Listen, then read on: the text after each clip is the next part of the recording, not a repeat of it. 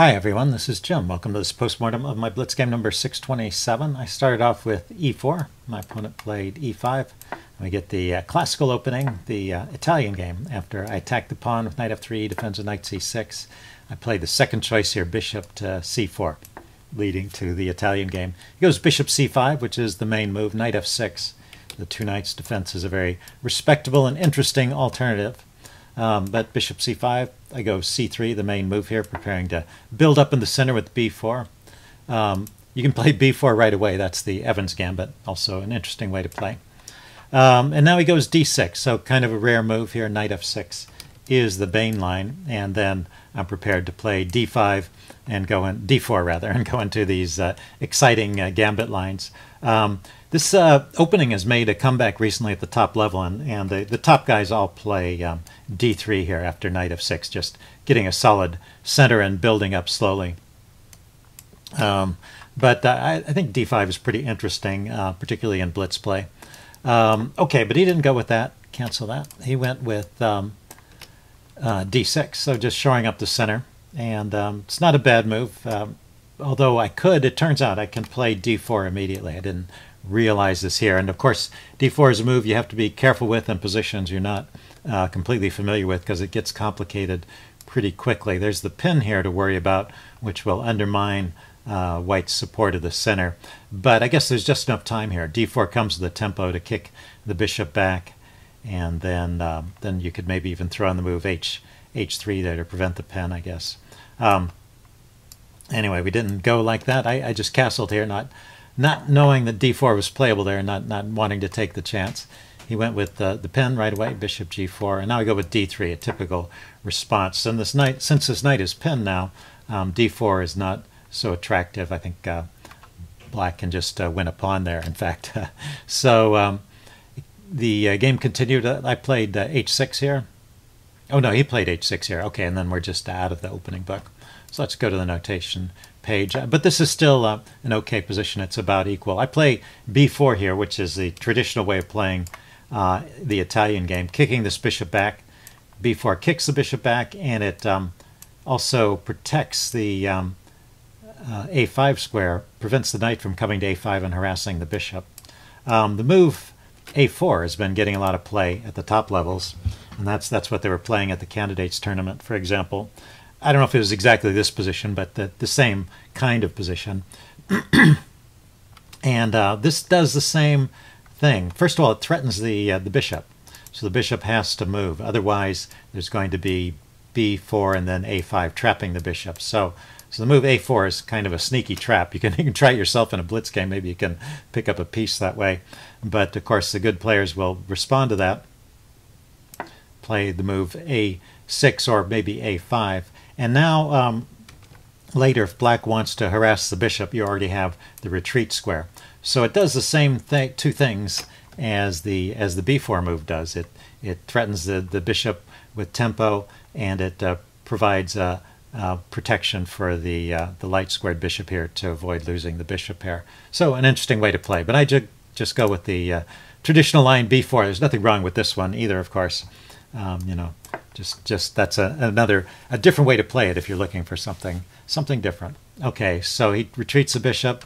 I develop my knight. I'm going to do this typical knight maneuver. The knight comes over to the uh, king side. You'll see that in the game. He plays a6 for a retreat square for his bishop. I go rook e1 so that my knight has a square to go to and also to more protection for the e pawn so it becomes possible for me to push the d pawn forward. He goes knight g e7, a little bit unusual. Normally the knight goes to f6 and I continue my knight maneuver. He castles. Um, the knight here does prepare um, the move f5 for black, so that could be what black is thinking. But uh, I think I'm going to be a little quicker uh, he spent some time calculating here. Maybe he was trying to figure out if uh, f5 was working, but eventually he decided to play queen to d7. So I kick the bishop, and then he decided just to trade it off. Um, so everything has been going along fine according to the chess engine. White has a typical kind of opening edge, nothing great. Um, but it doesn't like this bishop takes f3. The chess engine wants black to keep the bishop pair and just retreat the bishop back to e6, and I think that's fine. So after the bishop takes and queen takes, there's some kind of edge for white in this position. And uh, And after knight g6, there's actually a winning attack for white. So this idea completely escaped me. And uh, you know, I'm not going to give this to you as a quiz because this one's a little bit hard to find. But if you want to, uh, you know, test out your attacking instincts, you could try setting up this position on the board and seeing if you could, uh, on a board at home, and see if you, you can discover the attack. Um, I'm just going to go ahead and talk about the attack. It is um, bishop takes h6, just sacrifice the bishop there. And then uh, if he takes back, which is the way to try and refute it, the move queen to f6. That's the key idea. They sack the bishop here, pulls the pawn away from g7, and the queen can come into f6. And now the queen is um, threatening just to take that knight. And that is um, a pretty big threat because this uh, pawn is pinned by the bishop over here. So it's a it's a three-piece attack. There's only three pieces operating. Um, the bishop, the queen, and the knight is ready to jump in. Um, you know, the reason this didn't occur to me, one reason perhaps, is that um, this bishop on uh, b6 here is controlling the e3 square. So this rook is not hopping into the attack. And normally, uh, to make these attacks succeed, you need to lift a rook and bring it over. But here we can break through with just these three pieces. And just uh, as one example, if the knight retreats as a way to save the knight, you you don't just grab the pawn here, but you play knight to h5, and you actually have a mate here. It's it's an unstoppable mate at this point. so so that's pretty serious. Um, so the best move is for black to uh, defend the knight with the king, and then um, you could bring your knight to f5 this time. And uh, the rook comes over to try and hold things together. You're, you're threatening mate here. If the rook comes over to try and hold things together, then you can take with the bishop here, and um, and you're you're getting back material. So uh, the and the attack continues. So this is still a winning position for white. It's just not as quick as the other one. so that was that was pretty interesting. After knight g6, I have a winning attack. So I did not spot that at all. Played knight to f5. He went uh, knight c to e7. Okay, and right here there's another tactic that I also missed during the game, but I'll leave this as a quiz because you might be able to find this one. So um, uh, pause the video here and see if you can find the tactic for white.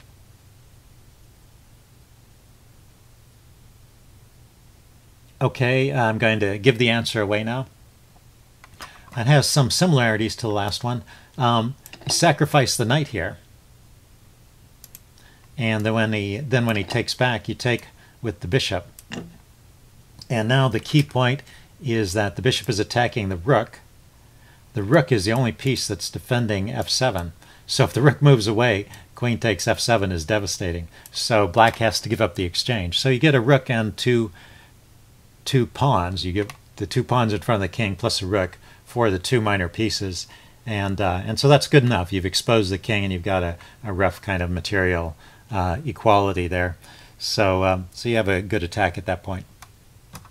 Um, anyway, I didn't see that one either. I played queen g3, just going after the pin knight, or trying to take advantage of this pin and put pressure on the knight.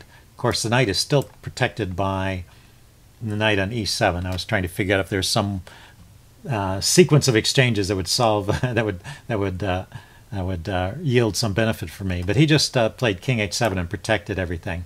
So we're we're back to about even. Uh, let's see. I push on with d4 at this point, trying to shut out that annoying bishop and maybe allow my rook to get into the game. He took on f5, and I just took back, and I totally overlooked actually that he could take with the queen. So uh, what what's interesting about this though is, even though I'm a pawn down, the chess engine still thinks uh, white is okay here. It rates all of these positions as uh, in the range of about even up to a certain point. So we'll, we'll get there. Um, bishop to d3. I mean, I have uh, active pieces, and I can kick his queen around a little bit. Um, I take here to try and uh, isolate the e pawn in a way. It's not actually isolated because there's an f-pawn there that could support it, but it's at the moment kind of isolated because the f-pawn can't can't move, and so I can get some pressure on it. Let's see, um, and then I play bishop e3, once again trying to shut down this annoying bishop along this diagonal. He just trades out at this point. I take back, and he plays uh, rook, rook f to e8. And now um, this move uh, starts me on some kind of downhill path. If I just played rook a to d1, even though I'm a pawn down, um, the chess engine thinks I'm still doing fine here. And that's just a natural developing move. So certainly one I should think about. But I was uh, going pawn hunting here, so bit of a mistake. Queen c5, you know, is putting pressure on this pawn and attacking this pawn. Um, he goes rook a to d8. This is a good move. He activates his rook, following the principle that I'm ignoring here. And then um, I did see this much. I calculated that after this exchange, he probably wants to take with a pawn, because if he takes with the queen, I'll, I'll be able to uh, grab the e pawn here. So this messes up his pawn structure. And then I lifted my rook to e3. This was uh, maybe my last chance to play rook a to d1 and uh, get a good position. After rook e3, uh, it, it, continues this downhill path, started with queen c5. Um, oh, there was another idea here. If I go ahead and grab the pawn immediately, queen takes c7, he can enter with his rook and put pressure on the pawn, and I have to defend it, the f pawn. Uh, but this is a slightly better version. Something similar to this happened during the game, but it's a slightly better version because I hadn't. This is happening before I did the rook lift, so uh, I can defend with this rook, and then this rook is free to operate down here after I push the a pawn, or if I decide to abandon it. Uh, in the game, I lifted the rook here, and now he comes in with rook. Uh, oh no, he pushed d4 first. I grabbed the pawn, and he comes in with rook d2. So now he's got pressure on this pawn, and I have to find a way to defend it. And I come up with uh, queen to g3. So uh, he there's uh, and he plays rook to f8, uh, piling up the pressure there and forcing my rook over. So I end up having to defend that pawn with the rook anyway. Uh, but there was an even more interesting way of forcing that, which is to uh, lift his rook to e5. The chess engine found this one. And there's this threat. The rook could come to g5, chasing my queen away, and then this pawn hangs. So after rook e5, I'm forced to defend with rook f1, and uh, now he can just grab the a pawn or or do whatever. I think uh, maybe rook to c2 is an idea too.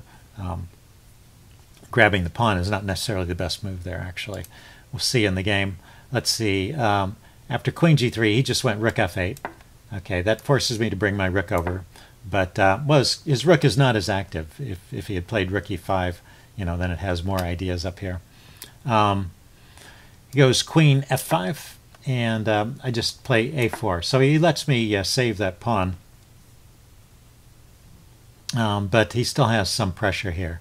So, but I think we're all in the range of about even. He goes uh, rook to d3 here, and I go rook f to e1 defending. And it's this exchange that's kind of uh, starts to turn the, the scales in my favor again. After this, um, things things are looking things are looking okay for white. I've got even material and I've got pressure on the e pawn. I'm actually white's a little better after this. So uh, chess engine wants to play queen back to f6,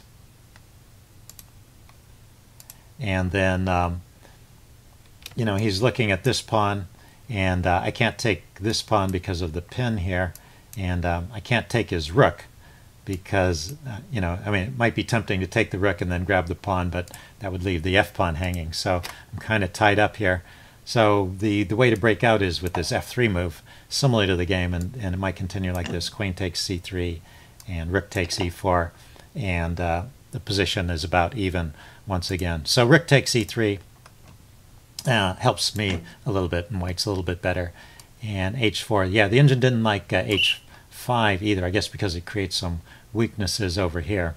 Um, but it didn't have, oh, you know what the chess engine wants to do is it wants us to fight for the d file. So it's recommending queen to d7 for black at this point. And after h5, it's recommending queen to d4 for me. So it wants us to put our queens on the d file and, and try and grab that space. Okay, I played rook to e2. And uh, he went uh, rook to e8, defending his pawn and I played f3. That was the idea, trying to trying to arrange uh, a way for I, so I could play f3, although this turns out to be just equal. So the chess engine thinks I should just kind of sit here and push on with a5 and uh, play this position and, and, just kind of live with this pawn. I don't know, it's kind of natural to try and get rid of it with a move like f3, but this leads to a position which is just equal. He takes, and actually I calculated this part out correctly, so that was nice. I take his rook, he takes my rook, and um, I take back. I just had to check to make sure there were no intermediate moves like pawn to f2 check that worked out, but it was always covered at critical moments. So um, this is uh, the the same course of events that the chess engine gave. So I guess I calculate that out okay. And then he comes in here, queen b1 check. I have a safe square for my king. And now we should probably, and he might have planned to play a move like queen a1. It's a natural move, attacking these two pawns. I would play queen f3, defending this pawn and attacking his b pawn. And we would trade like this. And this would be about even. The material is even. I have some kind of majority over here I could try and push forward and win with, but uh, he probably has enough counterplay with his pawns over here and his queen being able to deliver checks along this diagonal and along the back rank potentially. Um, so um, an even position at this point with best play. But instead, uh, he played um, in this position. He played queen to a2. So it might have just been a mouse slip. He might have been trying to play queen a1. Or maybe he wanted to bring his queen back this way and didn't notice. But uh, anyway, after queen takes a2, he just resigned. But there was an interesting game there. Hope you guys enjoyed this. Leave any comments you have in the section below, and I will see you again soon.